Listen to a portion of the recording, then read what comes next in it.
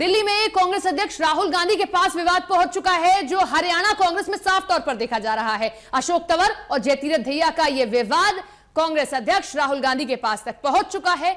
यानी कि जिस तरीके से यह खेमा बटा हुआ नज़र आ रहा है, अब वो शिकायत राहुल गांधी तक पहुँच चुकी है और जयतीरथ धैया ने राहुल गांधी को यह शिकायत अशोक तंवर को लेकर भेजी है और इस शिकायत में लिखा है कि अशोक तंवर ने उन्हें एक बैठक के दौरान अपमानित किया था। शिकायत में अशोक तंवर पर कार्रवाई की मांग भी की गई है। तो तंवर पर अपमानित करने का आरोप लगाया है जयतीरथ ने और यह विवाद अब राहुल गांधी तक पहुँच गया है। और जयतीरथ भैया ने राहुल गांधी को यह शिकायत भेजा है, जिसमें उन्होंने कहा है कि मुझे अपमानित किया गया अशोक तंवर की तरफ़ से और, उन पर कार्रवाई उचित की जानी चाहिए। और जिस तरीके से करारी हार राज्य में हुई है लगातार कांग्रेस बढ़ती हुई वहाँ नज़र आ रही है। चार जून को कांग्रेस की मंथन बैठक में तंवर और जयतीरथ धैया के बीच विवाद देखने को मिला था।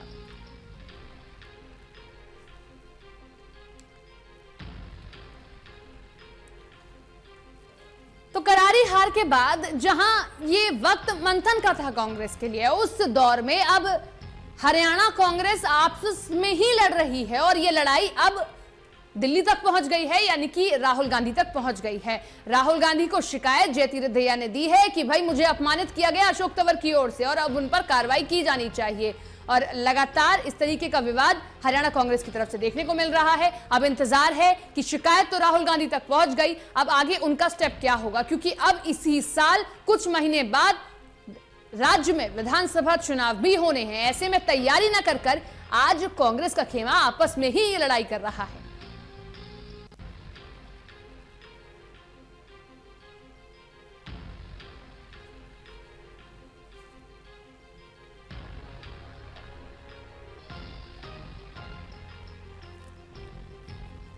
तो अशोक तंवर के खिलाफ जयतीरथ दहिया ने की है ये शिकायत और राहुल गांधी तक पहुँचा दी है। बड़े सवाल, हरियाणा विधानसभा चुनाव होने हैं, उनमें तैयारी न कर कर ये नेता आपस में ही लड़ रहे हैं। एक भी सीट लोकसभा चुनाव में इनके तरफ़ नहीं आई। अब जब मंथन का दौर है, लगातार ये भी देखा जा रहा है कि जब तंवर बैठकें बुलाते हैं तो उसमें बड़े नेता शामिल नहीं होते हैं। ये भी एक बड़ा विवाद है और ऐसे में जब राज्य में विधानसभा हाल ही में होने हैं, इस तरीके के मामले सामने आना क्या कार्यकर्ताओं का जोश ठंडा नहीं करता? क्या पार्टी को यहाँ पर मज़बूत स्थिति से हटाकर एक कमज़ोर स्थिति में नहीं रखता? और इसका फ़ायदा कहीं ना कहीं बीजेपी उठाने की कोशिश ज़रूर करेगी।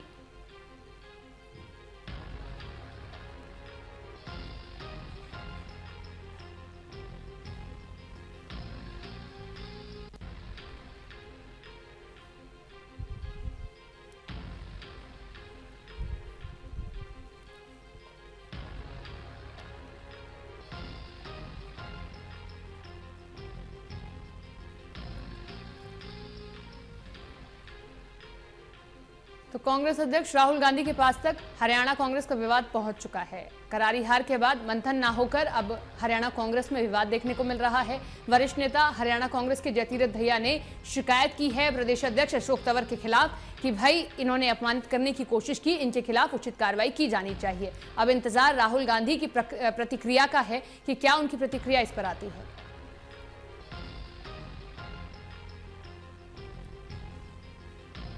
विनोद लांबा हमारे संवाददाता, हमारे साथ जुड़ गए विनोद अब इंतज़ार है कि राहुल गांधी क्या प्रतिक्रिया देंगे, लेकिन उससे ज़्यादा बड़ा सवाल यह है कि जब राज्य में अभी विधानसभा चुनाव होने हैं कुछ महीने बाद, इस तरीके का विवाद आ रहा है सामने। बीजेपी ज़रूर फ़ायदा उठाने की कोशिश करेगी यहाँ पर।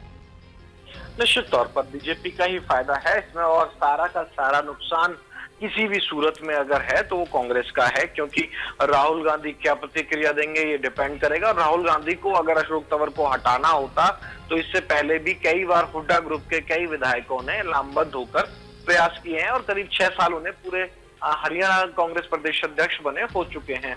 तो सवाल ये नहीं है कि उन्हें हटाया जाएगा या नहीं जाएगा, बात ये है कि जो राड थोड़ी सी जो कम दिखती थी इससे पहले लोकसभा चुनावों में क्योंकि हम्म। आपको भी याद होगा कि जब चर्चा हमारी होती थी कोऑर्डिनेशन कमेटी बना दी गई थी आ, तो ओवरऑल जो लोकसभा चुनावों में कोऑर्डिनेशन कमेटी ने सभी बड़े चेहरों को चुनाव टिकट देके उतारते हम्म। हुए अपने अपने क्षेत्र में सीमित कर दिया था लेकिन यहाँ विधानसभा चुनाव में बात सबसे बड़ी ये हो जाती है कि सीएम पद का उम्मीदवार कौन होगा हम्म। उसको लेकर अगर इस तरह की क्लियरिटी नहीं होगी कांग्रेस में और प्रदेश अध्यक्ष के खिलाफ भी इस तरह की खींचा तानी रहेगी और प्रदेश अध्यक्ष बाकी नेताओं के साथ अगर साठगांठ बना के नहीं चलेंगे तो सारा का सारा नुकसान कांग्रेस को झेलना पड़ेगा। और नंबर दो पर रहने वाली नौ लोकसभा सीटों पर कांग्रेस विधानसभा में किस तरह की फाइट लड़ पाएगी सत्ता इस पर सवाल खड़ा होता है।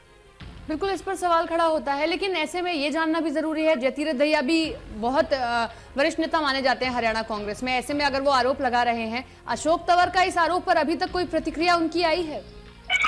अशोक तंवर से हमने कई बार बातचीत करने की कोशिश की है। अशोक तंवर से प्रतिक्रिया नहीं है। ये खेल जो चल रहा है ऑफ़ रिकॉर्ड मीडिया का चल रहा है। ऑफ़ द रिकॉर्ड जो बातें होती हैं, दो दिन चली कि जयतीरथ तैया को गाली दी गई है।